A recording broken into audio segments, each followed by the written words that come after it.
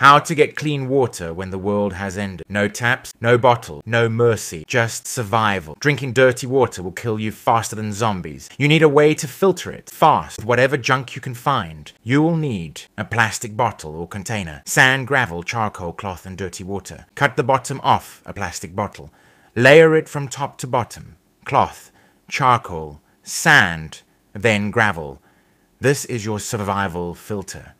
Pour dirty water slowly into the top.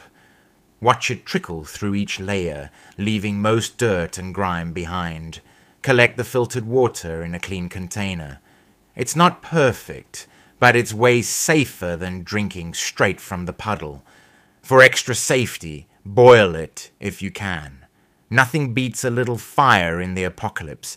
Trash and nature turn into clean water. You're officially a survival wizard and your stomach thanks you.